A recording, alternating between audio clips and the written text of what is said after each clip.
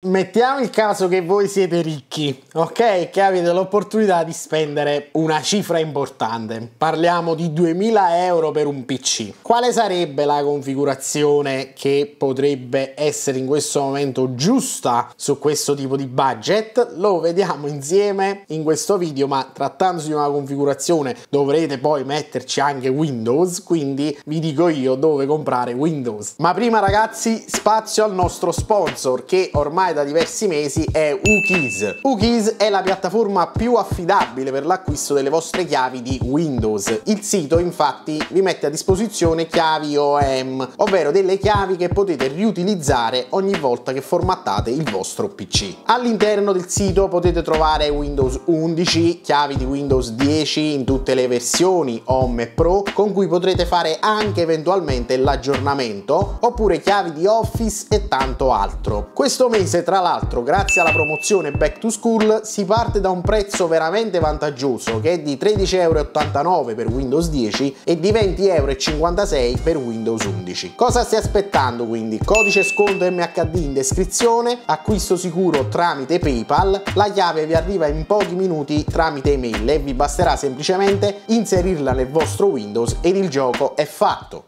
Ciao ragazzi, bentornati, bentornati in un nuovo video, bentornati su MV Hardware. Se non conoscete il mio canale, iscrivetevi, che cosa state aspettando? Mi date una grossa mano. Giù in descrizione link per seguirmi, tra cui anche i canali Telegram delle offerte, dove spesso e volentieri componenti del genere vanno in sconto. Vi dico la verità, la sincera verità. Ero indeciso su quale piattaforma scegliere per un PC da 2000 euro, perché fondamentalmente la maggior maggior parte delle persone potrebbero credere e pensare che eh, sarebbe meglio andare su AMD ed effettivamente è stato così, cioè sono andato su AMD AM5 perché in questo momento effettivamente rappresenta la piattaforma un po' più nuova che possiamo andarci a prendere. Ma su queste cifre fondamentalmente chi può spendere 2000 euro e magari oggi si vuole prendere un PC bello potente con un processore importante, no? Mettiamo non lo so, un 13700K o anche un 13900K,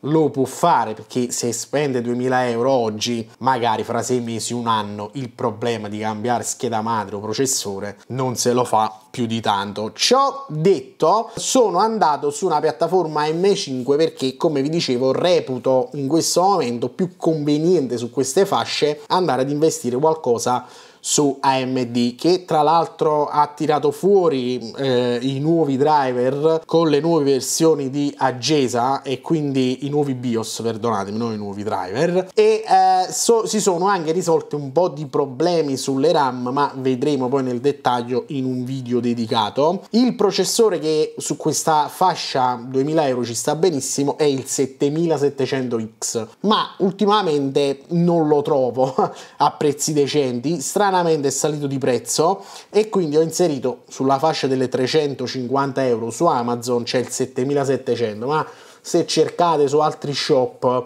potete recuperare un 7700X per lo stesso prezzo, quindi andate sul 7007X se lo riuscite a trovare. Come scheda madre invece una buona scheda madre B650, una uh, MSI Tomahawk che regge tranquillamente il nostro 7700X, ha dei buoni VRM, DDR5 ovviamente e supporta anche wifi 6E, eh, boost sulle memorie che dovrebbero andare anche oltre le 6400 MHz ma diciamo sulle 6000-6400 MHz stiamo tranquilli su questa piattaforma per adesso. Quindi ci sono anche altre schede madri visto che molte persone mi dicono che poi io consiglio solo Asus ce ne sono un po' sulla fascia delle 200 euro. Anche le ASRock le Asus sicuramente si trovano. Questa secondo me rappresenta un ottimo rapporto qualità-prezzo.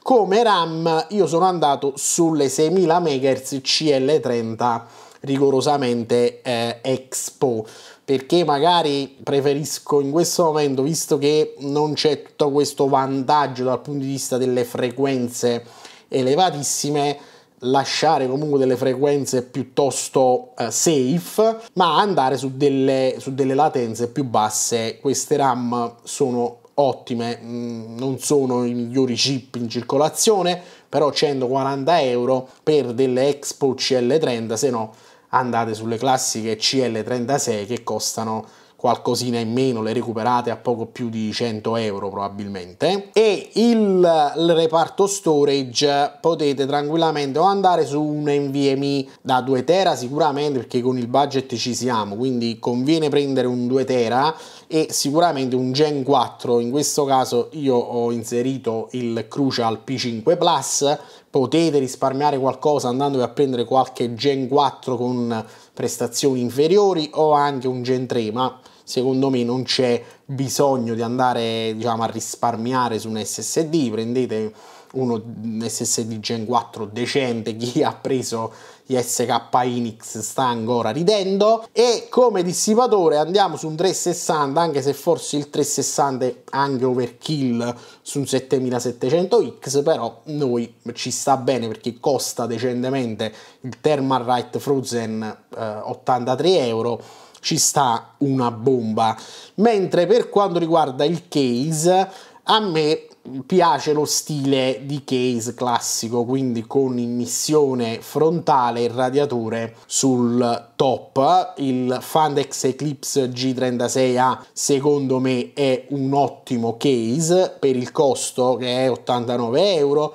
Ci sono una marea di case, ci sono i case col vetro davanti e con airflow verticale.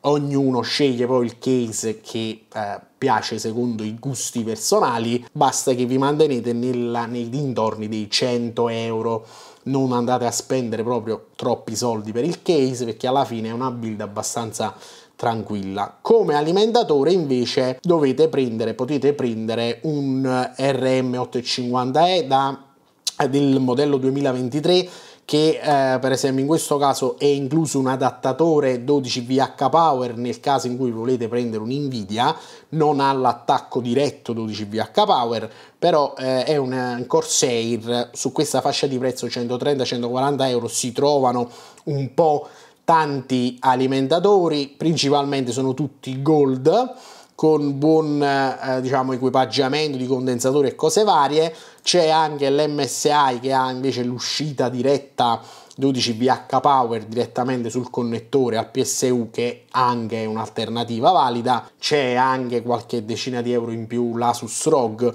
quindi eh, 130-150 euro prendete maggiormente ottimi alimentatori. Come scheda video andiamo un attimo nella nota dolente perché se vi ricordate nel video eh, diciamo del punto della situazione di AMD avevo ricriminato fondamentalmente il fatto che AMD attualmente ha poco da offrire come tecnologie e cose varie tranne che su alcuni modelli top di gamma come 7900 XT e 7900 XTX che sebbene non hanno le tecnologie hanno tanta potenza in raster con tanti giga.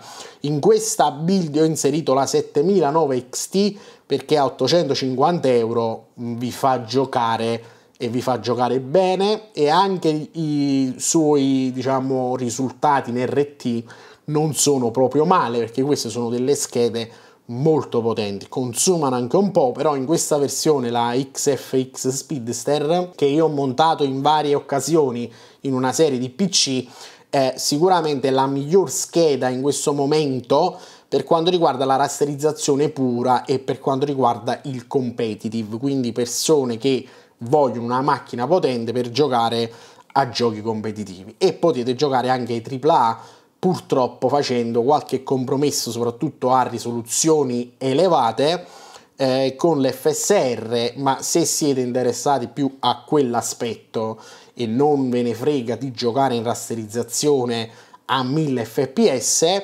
l'alternativa è la 4070 Ti che costa forse un qualcosina in più perde in rasterizzazione pura quindi ha delle performance in meno ma nemmeno poi tanto però guadagna sicuramente in ray tracing e col DLSS 3 con questa scheda voi potete giocare tranquillamente su monitor anche ultra wide 1440p cose del genere.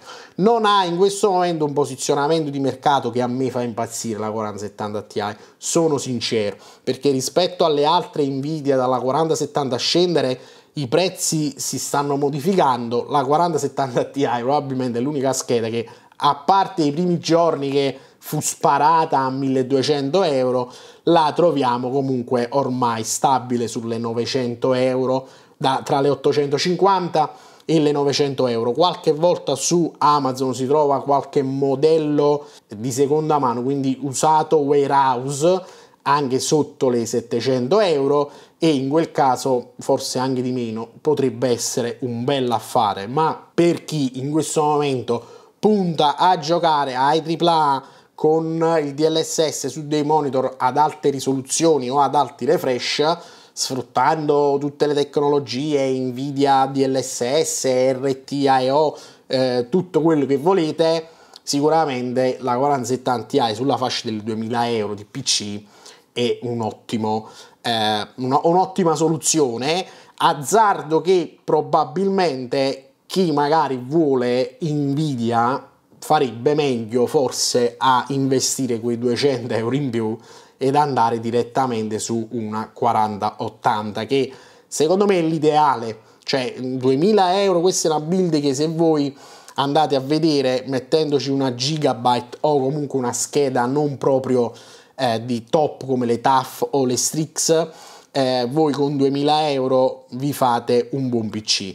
Togliendo la eh, 7900 XT e mettendoci una 4080, voi andate a spendere quei 2000-2003 che secondo me è il top PC in questo momento che potete fare a livello di performance e anche con un 7700 o magari superiore andando poi sugli X3D o su un Intel come il 13700K o simili, però l'ideale è questa.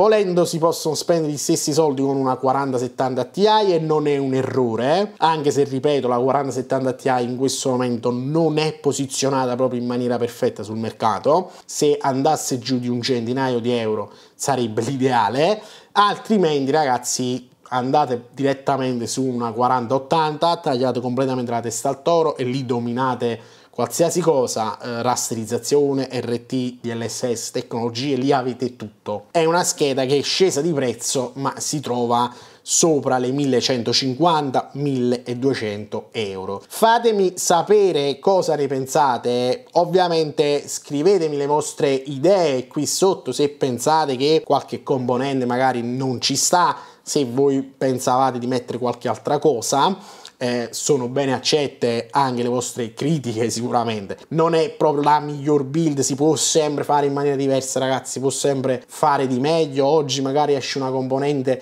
in sconto particolare domani esce un'occasione quindi sono degli esempi per far capire comunque intorno alle 2000 euro oggi cosa, cosa potete andare a comprare. Io vi ringrazio di essere stati qui con me fatemi sapere con un commento, lasciate un like, iscrivetevi al canale, noi ci vediamo in un prossimo video. Ciao ragazzi!